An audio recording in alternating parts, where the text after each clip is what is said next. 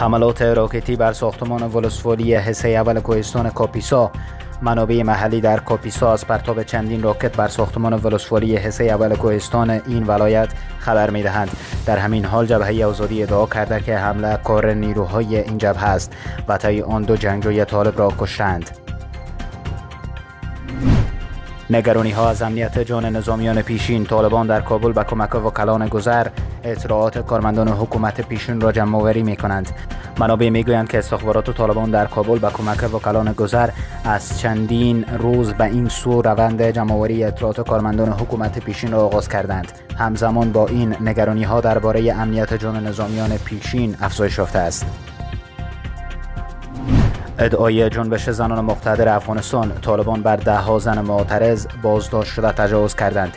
جنبش زنان مقتدر افغانستان ادعا می کنند که زندانبان های طالبان طی دو سال گذشته بالای ده زن معترض بازداشت شده تجاوز و خلاف تمام موازین حقوق بشری و اسلامی همه معیارهای انسانی را در برابر آنان و هزاران زندانی دیگر نقض کردند. نخستین کاروان کمک های بشردوستانه وارد غزه شد. اولین کاروان کمک های بشردوستانه پس از حمله اسرائیل بر غزه از طریق گذرگاه مرزی رفع در مصر وارد این شهر در حال جنگ شده است. این کاروان شامل 20 موتر حاوی کمک های صحی غذا و آب می شود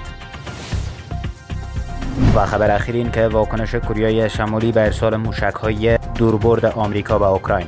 کره شمالی بر ارسال موشک های بالستیک دوربرد ATACMS آمریکایی به اوکراین واکنش نشان داده و گفته است که هر گونه حمله بر روسیه با این موشک ها تنها تلاش های صلح را مختل می کند